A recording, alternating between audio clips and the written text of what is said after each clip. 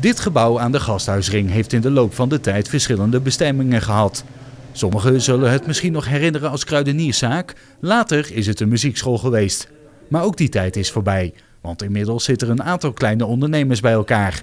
De afgelopen maanden is het pand flink gerenoveerd. Uh, nou, het is, oorspronkelijk was het natuurlijk een winkelpand. Uh, dat is het al lang niet meer. Daar hebben we allerlei verschillende uh, andere functies in gezeten. En wij hebben het nu in gebruik als eh, kantoorpand.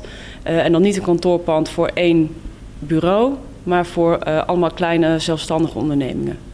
Een hoop vernieuwingen dus, maar er is ook veel bij het oude gebleven. Ja, de winkel, het winkelgedeelte was er natuurlijk al uit.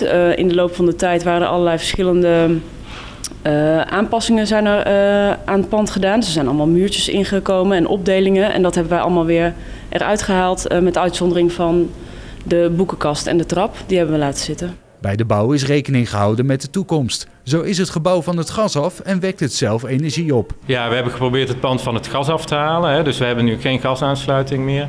En dat doen we door heel veel zonnepanelen op het dak te leggen. En de ruimte wordt nu verwarmd met een luchtwarmtepomp. Die kun je aan het plafond zien hangen. Uh, en die zorgt dat het hier ook weer lekker warm is. Op dit moment worden de laatste puntjes op de i gezet. Komende zaterdag is er een open dag waar iedereen die wil een kijkje kan komen nemen.